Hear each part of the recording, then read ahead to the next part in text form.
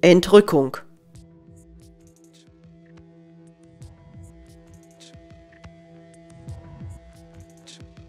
Eine kleine Schar nur wird am Ende der Erde mich in aller Herrlichkeit sehen können. Und diese ist es, die entrückt wird vor den Augen ihrer Mitmenschen, die dem leiblichen und geistigen Tode preisgegeben sind. Denn so wie jene die Erde verlassen haben, fällt diese der Vernichtung anheim. Das heißt, alles, was in, auf und über ihr lebt, wird von den Flammen aufgezehrt werden, die aus der Erde hervorbrechen und kein Schöpfungswerk auslassen.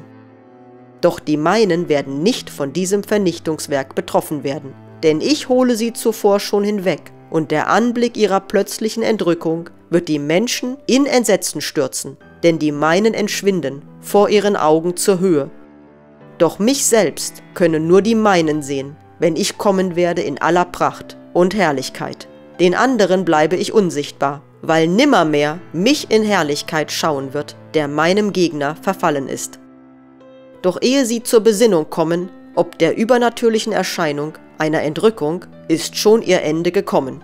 Die Erde wird sich öffnen und alle verschlingen, die mir abtrünnig sind, und bleiben bis zum Ende.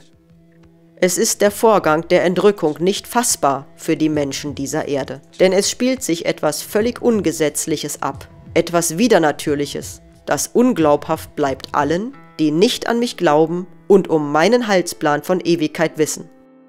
Und dennoch kommt es, wie ich es euch ankündige, noch im Leib lebende Menschen versetze ich an einen Ort des Friedens im Augenblick. Sie selbst aber werden bewusst diesen Vorgang erleben und des Jubels und Lobes für mich voll sein. Denn sie haben die Treueprobe bestanden Sie sollen nun den Lohn empfangen für ihre Liebe zu mir und den Glauben an mich, und ich öffne ihnen das Paradies. Eine neue Erlösungsperiode beginnt, und die meinen werden der Stamm sein des neuen Geschlechtes auf der neuen Erde. Nur der Glaube kann solches fassen, der Verstand aber wehret sich dagegen und zweifelt, bis der Tag gekommen ist. Amen.